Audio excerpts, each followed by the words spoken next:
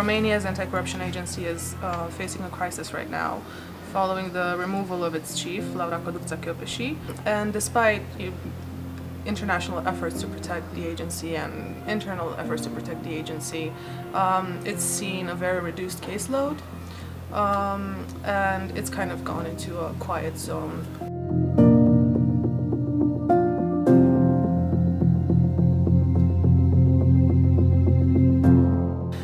Agency has seen um, a lot of attacks from politicians, including politicians who are investigated by the agency.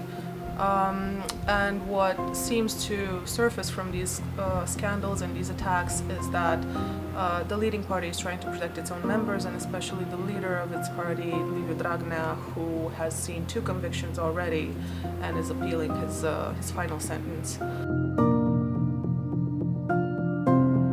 We're not seeing a lot of activity and we're not seeing a lot of high profile cases as we used to see in the past years. So it's really under question right now if we will ever have the anti-corruption that we've had so far.